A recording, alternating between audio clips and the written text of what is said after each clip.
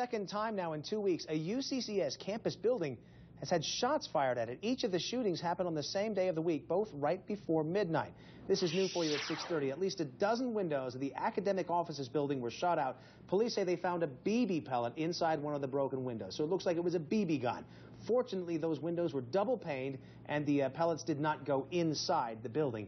Campus police say they don't believe anyone is being targeted specifically. This is a random type of act. Um, with as many windows as, as have been broken, uh, we're not, we're not, we don't believe that any one person or any one office is being targeted. Well, that's good to know. Still, campus police will increase their patrols, but if you have any information about who may have done that, get in touch with UCCS police right away.